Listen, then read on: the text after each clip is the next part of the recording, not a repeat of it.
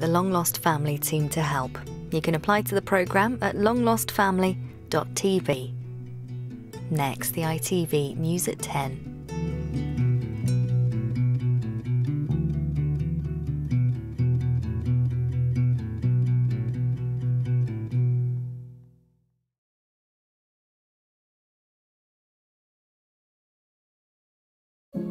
Ancestry sponsors real life stories on ITV. Racism in cricket rears its head again now in Scotland and tributes to Lord Trimble, unionist and peacemaker.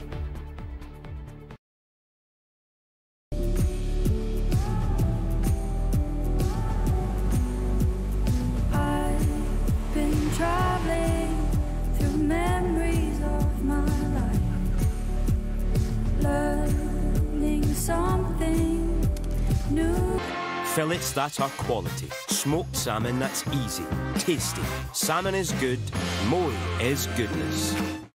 Pain, we only talk about two sides pain you feel and relief once it's gone. But what about the moment in between when you start to be released from pain? When you start to get back to ordinary, and ordinary feels amazing. Panadol Extra Advanced Tablets. Powerful pain relief. Release starts here. Look at that, mate.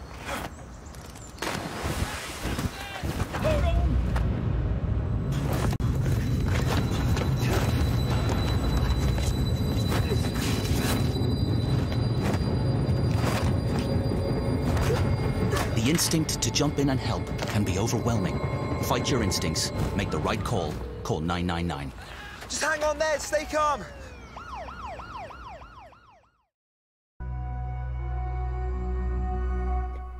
Now, Tom Bradby has all the latest with the ITV News at 10.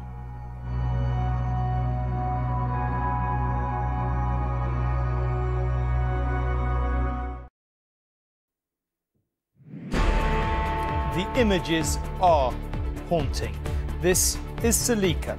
Severely malnourished, she is four, but the weight of a one year old. This is Mael, who is just one and whom doctors thought would not survive a day when he first reached medical care. And this is Ali, who has just buried his son, the fourth child he has lost to the terrible drought in Somalia, one of the worst in living memory. This is a historic drought, the worst in over 40 years. And the world needs to pay attention because of the sheer magnitude of needs. Peter has a vivid first hand account tonight of the scale of a crisis, which is the direct result of both climate change and conflict. Also on News at 10. 448 individual instances of institutional racism. The utterly damning report into the state of cricket in Scotland. As a person of colour, it's like out of sight, out of mind. You've gone against the institution, you spoke against people, we can't join you. Boris Johnson apparently tells supporters he regrets resigning and could look to stay as the new contenders slug it out in a head to head debate. David Trimble, a man who took enormous political risks for peace in Northern Ireland, has sadly died tonight. And preparing for sellout crowds and the pleasure of playing at home. It is massive, um, obviously coming back to Sheffield, but more importantly, we're playing in a, a home Euro semi final against the top opposition.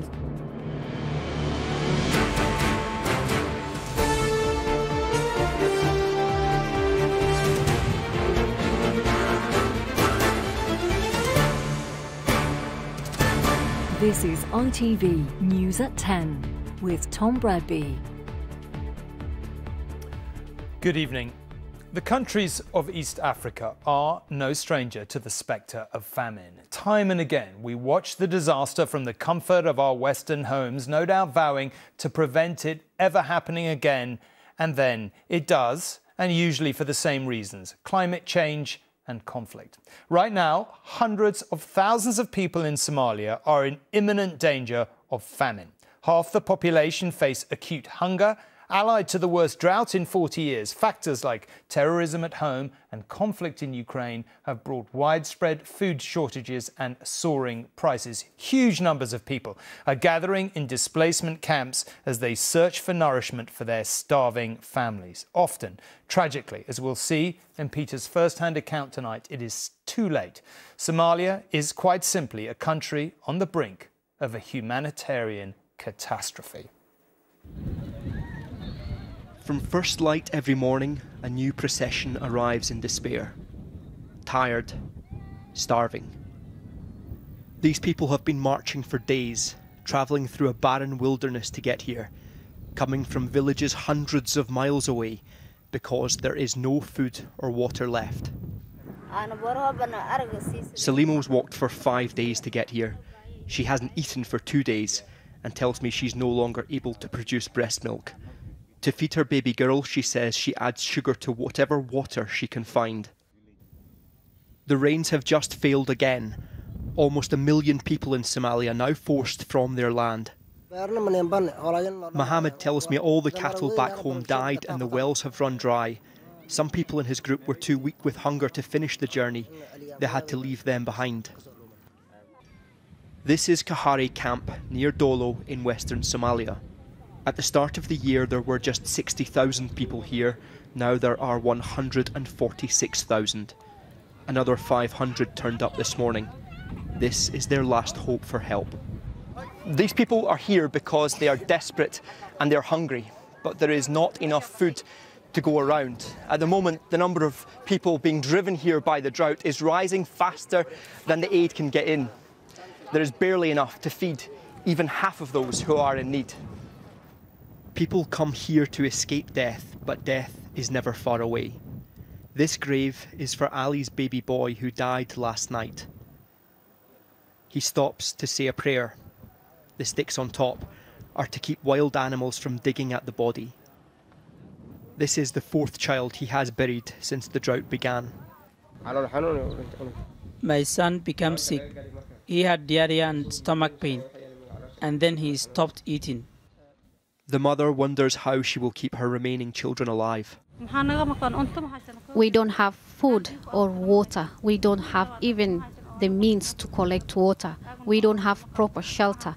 And I have nothing to cook with. It is the children who are suffering most. Almost half of those under five in Somalia are now malnourished. The most serious cases are taken to a stabilisation unit. This little girl is called Salika, severely dehydrated and malnourished. She is four years old, but she's now the weight of a one year old. Ismail just had his first birthday. Doctors were not sure he would survive even a day when they found him, and without treatment, he would not have survived. This one ward has capacity for 16. They're now seeing more than that number in a day. Malnourishment makes children far more susceptible to diseases like pneumonia, tuberculosis, and cholera, common causes of death here, all preventable. The medical team checks for early signs of starvation. Arm measurements show green for safe, yellow for warning. This little boy is red, another child dangerously malnourished. The hospital is seeing hundreds of malnourished children every single day right now. Here, they can be treated with medication. That's enough to keep them alive. The problem is they'll then be discharged back into a country that is on the edge of a famine. Aid groups give food to the most in need, nutritionally dense supplements. For some, it'll be the first time they've eaten in days. But within months, the same children are starving again. The bigger picture that is having a stable uh, food supply for these people will be the ideal factor that will help will help will help them to survive. Until there's enough food, you're going to still be treating malnourished children. Definitely, absolutely, absolutely. Until we have enough supply in terms of uh, food uh, food commodities, this will be there, and medication alone won't be enough. From above, we can see the damage done after two years without rain. Rivers are dry, homes abandoned. The crops have failed in the fields, and a third of the country's livestock has already died from starvation, the only source of food and income for millions here. The UN World Food Programme is trying to feed as many as they can with what they have, They're caring for more than three and a half million in Somalia now and trying to scale up urgently. What we're facing really is not just another drought. This is a historic drought, the worst in over 40 years. And the world needs to pay attention because of the sheer magnitude of needs. What we are witnessing is the beginning of a preventable tragedy. Not hidden away, but happening now in front of the eyes of the world. At the camp, we see another new arrival a woman held up by those around her. Something is wrong. Suddenly, she collapses in front of us. The woman in front of her holds a bundle. Then all becomes apparent. The woman has given birth along the way, then somehow walked the remaining five kilometres. It is a boy. He's healthy, and his name is Abdi Najib Gulid. What life will this world offer him? Peter Smith, News at 10, Dolo in Somalia. Well, Peter and his cameraman Andy Rex were the first broadcast team to visit Somalia since the food emergency there became quite so acute. But the whole of Eastern Africa is currently overshadowed by this crisis. 89 million, yes, 89 million people are in what's called food insecurity across the region, meaning they don't have access to affordable and nutritious food. Across Ethiopia, Kenya, and Somalia, it's estimated that one person dies of hunger every 48 seconds. And in Somalia alone, alone, more than 600,000 people have been displaced in the first half of this year, more than double the number displaced in all of 2021. excuse me, please excuse me. Now, uh, Peter joins us from Johannesburg. Peter, those are utterly haunting uh, images uh, to witness and the statistics do tell their own story in terms of what lies behind uh, the scenes in your report. But what's unfolding, as I understand it from your reporting, is essentially a man made disaster. Many, many man made disasters piling on top of each other one after one, and one would be difficult enough for the Somali people, but all at once they're being hit from all angles, and this is what's pushing millions over the edge. The drought is the main driving force, I'll come back to that, but the war in Ukraine, 5,000 miles away from Somalia, is casting a long shadow. Somalia used to get 92% of its grain from Ukraine. Also, the war there is driving up food and fuel prices. And Somali people have been left wondering how they're they going to eat. They can't import food, they can't grow food. The only option left to do is to starve. And the drought, though, is the main driving force. And call it what you will, the climate is changing. Yes, Somalia has had droughts before. We've reported on crises in the past. But what's happening is that droughts are more frequent, they're lasting longer, and they're pushing more people to the brink of famine. And it's not nomadic Somali farmers who are responsible for this, it's the industrial powers who've been polluting the, the, the, earth, and yet it is the poorest people who are paying the highest price, paying with their lives, their children's lives, and their future. And if the world doesn't want to pay attention now, then eventually the world will have to pay attention because this crisis, as you say, millions of people now being forced from their land, that what will follow is a migration crisis when people are looking for new land because their old homes are uninhabitable. There are solutions to this. It just depends if the world is willing to commit because right now people are dying simply because they do not have enough food. Okay, Peter, thank you very much indeed. Well, back here and once again tonight, the sport of cricket in Britain, with its time honoured traditions and practices, stands accused of having racism deeply ingrained in its culture. This time, it's cricket in Scotland, where a damning report out today uncovered a shocking 448 examples of institutional racism. Yes, that's right, almost 500. Everything from racist abuse to favouring white children from public schools. The report was commissioned after accusations brought by two players and Cricket Scotland's entire board resigned en masse yesterday. Either side of their lawyer, the two cricketers whose allegations prompted an avalanche of racism claims and the devastating review that today concluded the sport in Scotland is institutionally racist. The moment the players first spoke up about their treatment, they say their international careers ended. Are you in any doubt that you were stopped from playing international cricket because of the colour of your skin? Honestly, I can't see any other reason. I've went, I've went through it so much in my mind. As a person of colour, it's like out of sight, out of mind. You've gone against the institution. You spoke against people. We can't join you. Scotland's record-breaking bowler Majid Haq says he was humiliated in team meetings, called racist names and was sent home from a World Cup for tweeting always tougher when you're in the minority. It had a massive impact on me as a person. How, how I am now has had a it's, it's, it's left me really mentally exhausted, emotionally drained. When I gave so much to the team, and I was a, a key player still to that time. And afterwards, I was still like one of the top cricketers in Scotland. I never ever got a second chance to come back. The report covered all levels of the game and found 448 separate examples of institutional racism. It said 34% of survey respondents had personally experienced race discrimination. It also found no clear and consistent complaints process, with some people who raised issues sidelined or ignored.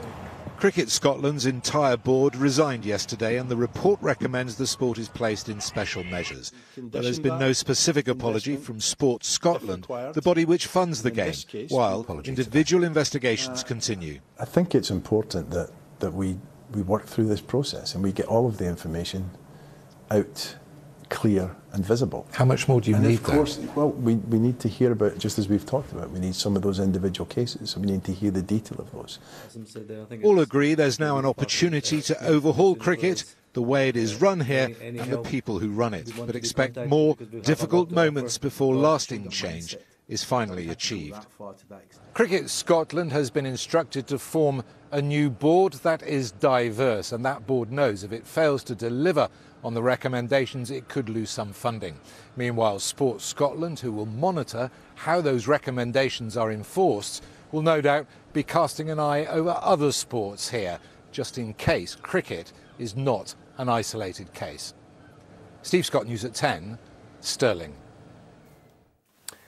It is only one report, admittedly, and the petition to have him stay has only reached 10,000 out of 200,000 Tory members. But it is reported tonight that Boris Johnson has told a close ally that he regrets resigning and still could look to say stay. Blimey, you may say, perhaps even what nonsense. But at the very least, if those numbers for the petition continue to climb, it could cause his successor very significant problems. The two candidates were slugging it out head to head tonight, clashing over where they stand and what they propose to offer if they become the next Prime Minister. She's the candidate to beat. Liz Truss, arriving for tonight's debate in Stoke-on-Trent, believes she's already won the battle for hearts and minds among Tory members. But having admitted she's not the slickest performer, could Rishi Sunak, the former Chancellor, still snatch victory in the race to reach number 10? At first, he seemed on the back foot over his record, but then said he would find more money to help with energy bills. Of course, there could be, and we'll have to see what the price cap actually is when we get there. As we heard, we don't know quite where it's going to be. I announced support earlier this year, which provides around £1,200 of total support for the most vulnerable. I would act immediately. I understand that people here, people around the country, are struggling with some of the worst cost of living problems that we've had for generations. The two contenders then clashed on her plans to borrow more in order to cut taxes. Your own economic advisor has said that that would lead to mortgage rates, interest rates going up to 7%. Can you imagine what that's going to do for everyone here and everyone watching? That's thousands of pounds on their mortgage bill. It's going to tip millions of people into misery, and it's going to mean we absolutely Rishi. have no chance of winning the next election either. Rishi, I don't believe this negative, declinist language. It's your own economic hearing. advisor, Liz. It's We- not mine. we- it's your own advisor. I have lots of economists that are backing my plans. Everybody And- and- and thinks he's the that one that putting up everybody thinks that putting up taxes at this moment is going to hurt the economy. But he continued to challenge her, using it as an opportunity to point out her support for Remain in the EU referendum. Do you know what mortgage rates are in the US at the moment? Do you want to use them as an example? Their mortgage rates are almost 50% higher than mortgage rates in this country because they're borrowing so much. I'm, I'm you sorry, this Canada. is scaremongering. Ca- Canada this actually is has Project Fear. Liz, I, I- I remember the It is. referendum campaign. I remember the referendum campaign, and there were only one of us who was on the side of Remain and Project Fear, and it was you, not me. Okay. And you talk Well, maybe about I've this. learnt from Wait, that. wait, It wasn't all about the economy. Liz Truss was challenged to disown a tweet by one of her most prominent cabinet backers, Nadine Dorries, who suggested Rishi Sunak's expensive wardrobe contrasted with her cheaper earrings. I don't have any issue with how expensive anybody else's clothes are. And actually, I think Rishi is a very finely dressed person, and I'm a great admirer of his dress sense. So that is not something that I would, and I don't know how she knows where I got my earrings, to be, to be perfectly frank about it. He defended his and his family's wealth and their success in making their way up in the world. I'm certainly not going to apologise for the fact that they worked hard and they aspire to do that for their kids. And in fact, as I said before, those values, those conservative values about hard work and aspiration and building a better future for your children, that's why I want to be Prime Minister. To be clear, let me be clear that Winchester. Despite the heated exchanges, they both agreed they could work together, whoever wins the race. Libby Wiener, News at 10. Uh, and Carl was watching that debate uh, in Stoke-on-Trent. Um, Carl, I'm tempted to ask you about uh, Boris Johnson's suggestion that he'd quite like to stay, but we'll maybe wait until the petitions uh, to see if it gets a bit higher before we get we'll into that that. particular update. What, what, what, what did you make uh, of what you saw tonight, and how did it go down there? Well, look, I'm not sure that Rishi Sunak did enough tonight to really change the weather in this contest, and he does need to do that. Now, as far as the audience were concerned, he got a bit more applause. He got applause a couple of times. Uh, Liz Truss got applause once. But this audience were Conservative voters, not Conservative members, and it's the members who will be voting on this. And what they will have seen is Rishi Sunak come out again, very pugnacious on the economy, interrupting Liz Truss a lot. Uh, possibly too much for, well, certainly too much for her supporters, uh, possibly too much for some of the undecided, undecideds. That is clearly where he still feels that he is on the strongest ground because he says that her plans would lead to more inflation. She says his plans, uh, as we know, would lead to recession. A couple of other issues we haven't heard so much about. They disagreed a bit on China, not as much as on the economy. They tended to agree on Ukraine. Where it got really quite interesting was over the personal attacks that Libby just mentioned that Nadine Dorries had made on Rishi Sunak. Liz Truss did reinforce them, talking about what a sharply dressed man Rishi Sunak is. Uh, briefly, on the Boris Johnson thing, look, Rishi Sunak gave him 10 out of 10 for a Prime Minister, which was interesting. Could he come back? I spoke to a member of the 1922 executive tonight who said, no, not this time, can't happen. Okay, Carl, thank you very much indeed. Now, the death was sadly announced tonight of the Northern Ireland politician David Trimble, who made the unusual, to say the least, journey from unionist hardliner to Nobel Peace Prize winner. As one of the main architects of the Good Friday Agreement, Lord Trimble helped bring about an end to the cycle of sectarian violence that had beset Northern Ireland for decades. Labour's Sir Keir Starmer called him a towering figure. He was 77.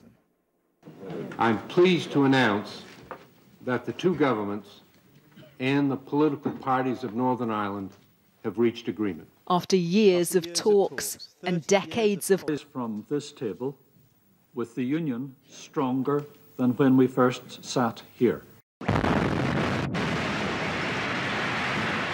Born in 1944 on an island scarred by division, David Trimble became an architect of Northern Ireland's power. It was his tough stance on the Orange Order parades in the 90s that helped secure him the leadership of the Ulster Unionist Party, but it was for his bravery in compromise for which he'll be remembered. He was prepared to stand up and go with the road of peace, go with Tony Blair and myself in the Good Friday Agreement. And, you know, that wasn't easy. He fought very hard for his community. And he, he was a, a tough man, a tough negotiator. I've dealt with a lot of negotiators. He was tough. Uh, he was uncompromising. But um, in the end of the day, you could make an agreement with him. And when he made an agreement, he stuck by the agreement. For his role in the negotiations that helped bring an end to the Troubles, he was awarded the Nobel Peace Prize. Northern Ireland has lost uh, a giant of a man, a man who brought so much to Northern Ireland, who helped uh, broker a peace, which is an imperfect peace, uh, but has helped Northern Ireland move on. He gave so much uh, of himself uh, to get to where we are now. Just last month, a portrait of him was unveiled in Belfast. Lord Trimble described the Good Friday Agreement as his greatest achievement. Even as Northern Ireland's politics remain polarised, that legacy lives on. His family say he died peacefully following a short illness. Politicians from all sides acknowledging an immense debt of gratitude for all he achieved.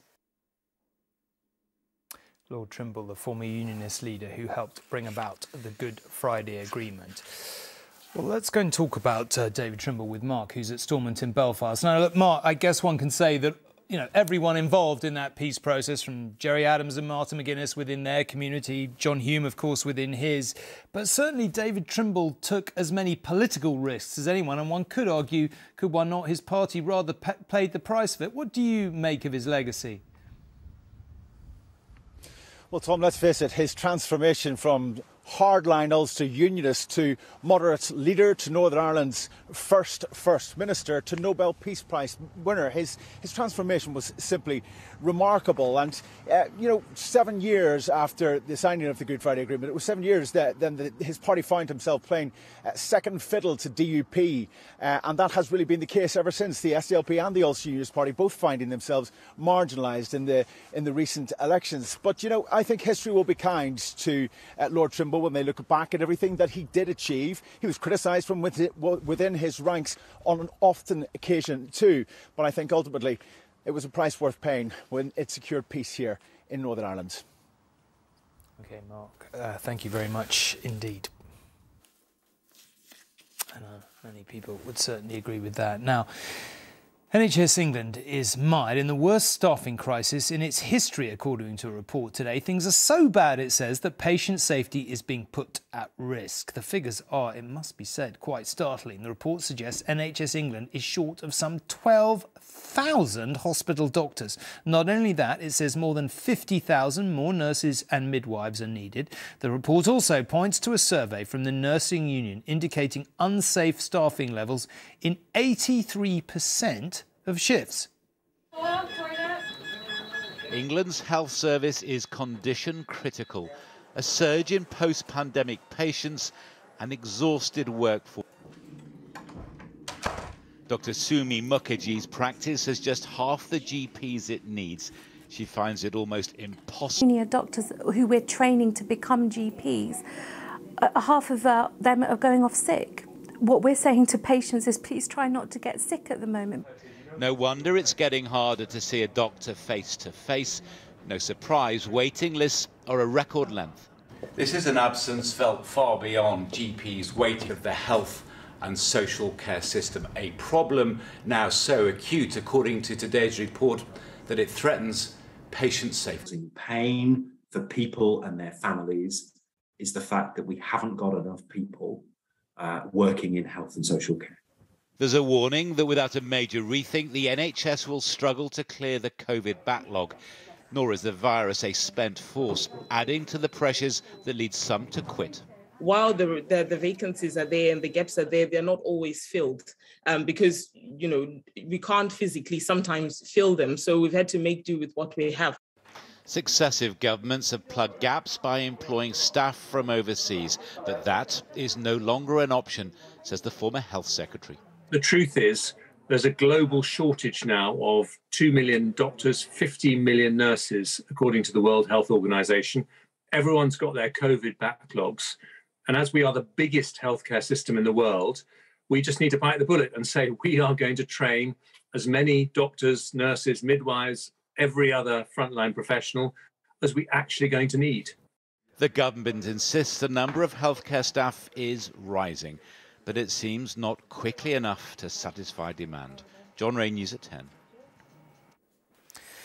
The statistics certainly are startling to say the least. Now, finally, it's often called the home of football, and tomorrow night the city of Sheffield hosts the attempt by England to win a place in the Women's Euro final. And for the player who starred in the gruelling win that got England through to their semi final against Sweden, it's an especially important occasion. Born just a few miles away from the city, Millie Bright's first big club was Sheffield United. One final workout ahead of one of the biggest matches of their careers. The prize up for grabs, a place in the final of Europe's most prestigious tournament. Millie Bright is coming home for the semi-final. She grew up on the outskirts of Sheffield. For you personally, how special an occasion is this? It is massive. Um, obviously, coming for me, that that beats anything. Um, obviously, it's it's nice to be back. I think I'm most excited. The Lionesses will be playing in front of another sellout crowd tomorrow when they face Sweden at Bramall Lane. 20 years ago, Andy Paulson started a girls' football team for his. One player stood out, and then nine year old Millie, who helped them win the league in their first season, scoring 80 goals. She was an exceptional talent. You could tell straight, exceptionally proud, the same as the rest of the country. Uh, just makes me smile every time I hear her name or a mention. Actually amazing. It's like she's from our home. That England are playing here tomorrow. I think it's a once in a lifetime opportunity that something so big can happen so close to us. This city, along with the nation, will be cheering the Lionesses on tomorrow, hoping this will still be ringing around the country on Sunday. Amy Lewis, News at 10, Sheffield. Right, that's all we have time for tonight. The headlines again, the, that haunting report from Somalia, the shocking report into institutional racism in Scottish cricket. It's tomorrow, but for now, good night. Thanks for watching.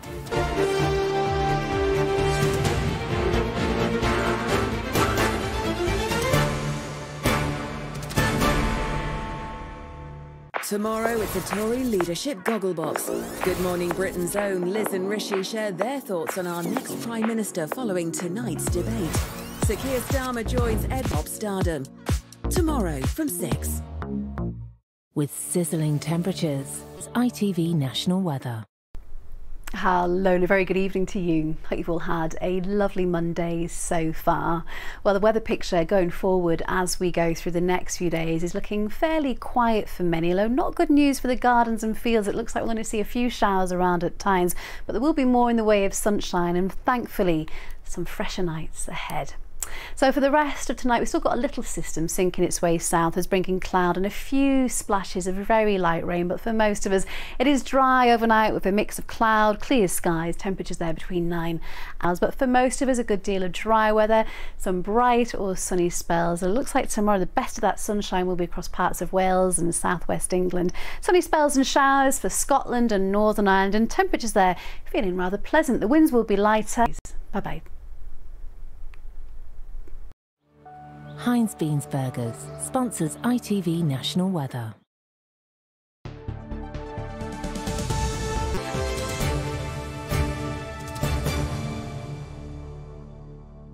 Hello, good evening. You're watching ITV News Meridian.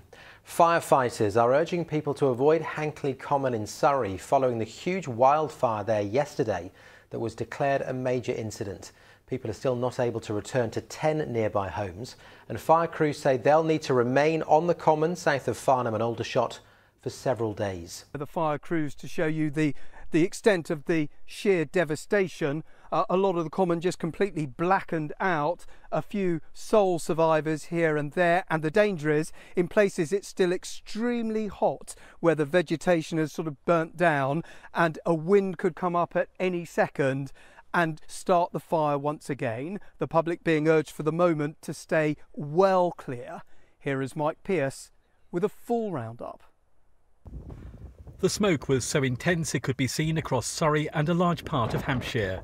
The blaze, which broke out yesterday lunchtime, led to 10 homes being evacuated and thousands told to keep their doors and windows closed, with a major incident being declared.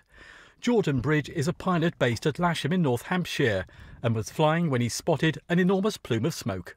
It was clear that this smoke was actually emanating from the Hankley Common fire and was extending a long, long way downwind. Uh, so yeah, it was absolutely huge, one of the biggest certainly I've seen in the UK. Astonishment really, um, obviously with the 40 degrees last week, uh, we are obviously now entering a period where these wildfires are going to become more common. Incident Commander Joe lives near Hankley Common and spotted the fire from his bedroom window. I looked out the bedroom window, saw a massive plume of smoke. Uh, I knew it was going to be Hankley. I know the conditions are very dry at the moment, and I knew it was. All those fire officers who came here. So they were faced with a very rapidly spreading fire. We've got the combination of dry vegetation, unfortunately, perfect ing- ingredients for a wind-driven fire that's going to spread very rapidly. Well, this is one of many roads in the area closed because of the incident. At its height, there were more than 50 firefighters from right across Surrey and Hampshire with 19 appliances, and they say they could still be here for another two days. In the nearest village, locals say they've never seen smoke like it. We got worse and worse and worse, and the smell. And my husband said, "I think it's a fire." And it was really sort of really bad, you know, coughing and all that sort of thing. Yeah, because it's you know. The overall effect was the smoke just came over and over, flooded over us, and we had to go indoors and close all the windows. Thick, and when it went over the sun, it was awful. Don't have barbecues in the woods, take a picnic, take all your rubbish and your litter home with you because it can just be something like a bottle or a discarded cigarette, something as tiny that, as that that starts a fire as big as this. And tonight, while the major incident has been stood down, fire crews remain at the scene. Mike Pierce, ITV News, Hankley Common. Well, we haven't spoken about the local wildlife, which was thriving in this area. There's been a lot of damage, obviously, and we can speak now to Rob Free from Amphibian and Reptile Conservation, a conservation trust. What's the damage been? Uh, well, we think there's around 50 hectares destroyed on this common. Um, it's a really important site for rare reptiles, which is why we're involved as sand lizard and smooth snake on site, both real rarities in the UK, and it's taken out some nice habitat that they once inhabited. And, and killed many of them, presumably, sadly. Sadly, yes. Well, it's been a really intense burn, so the ground's got very hot. If they were sheltering underneath, they uh, a lot of them wouldn't make it. Although we will check later on just to make sure. I was going to say, is there anything you can do? Uh, well, yeah. When we're allowed on, when it's safe, we'll come in and uh, do a walkover. Any animals that are emerging, we'll remove them to safety to unburnt habitat. That's a very good point, Rob, because obviously, although we're allowed on here, the public are being told to keep well away for now.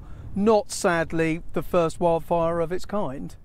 No, this is the third one on here in uh, two weeks, and there's been some pretty de devastating ones. Uh, Pirbright Ranges a while ago was uh, 650 hectares, and then there was Ash Ranges in the spring, 300 hectares. It must be quite upsetting. It must feel like sort of two steps forward and one back sometimes. It does, yeah. I remember on Ash Ranges releasing some sand lizards there in 2010, and I'll, I'll be long retired before the habitat is good enough for them to go back. That's Rob, the timescale you're on. Thank you very much for joining us and explaining that to us. As for uh, what caused this fire, well, I spoke to fire crews earlier. They said it was over such a wide area, they may never know where it started or how it started. Derek Johnson reporting there. Well, meanwhile, firefighters have been tackling a fire on a cliff top in Bournemouth this evening. It started at around 7 o'clock in bushes above Boscombe Pier. Six fire engines were sent to the scene. At its height, 24 firefighters battled the flames. And a gorse fire in the New Forest has damaged an area of heathland the size of three football pitches. Crews from 10 stations across Hampshire were called to the fire at Pennington Common near Lymington yesterday afternoon. Hampshire Fire and Rescue says crews managed to keep the fire contained to the gorse and woodland and stopped it from spreading. In other news, five men have been arrested on suspicion of murder following the death of a teenager in Southampton. Police were called to Langhorne Road in Swaythling shortly before 12.30 yesterday lunchtime, following reports that a 19-year-old man had been seriously assaulted. He was taken to hospital with a puncture wound to the chest, where he was pronounced dead. Two men from Bursledon, a man from Hamble, a man from Eastleigh and a man from London have been arrested and remain in custody. A group of teenagers from Sussex are fronting a new RNLI campaign to prevent drownings in the sea. The group phoned 999 and came to the aid of a couple who got into trouble while swimming last September. Charlotte Wilkins reports. Coast Guard Rescue. Uh, there's a couple, they're quite old. Yeah. Um, and my friends have just seen them and they've asked for help. Are they actually in the water? It was a warm September day last year when, as a group of friends was sunbathing, they noticed a couple in the water who were in trouble. And we had noticed them quite early on, but um, it wasn't until a bit later where we realised that they were actually struggling. The friends stayed calm. Millie ran to get help.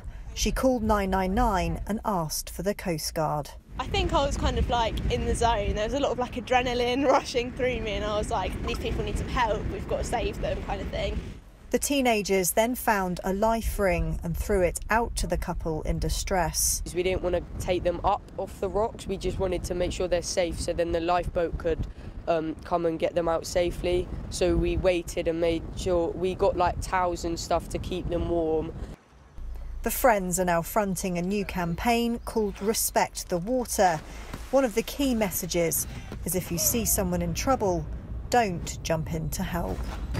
The instinct to jump in and help can be overwhelming. Fight your instincts. Make the right call. Call 999.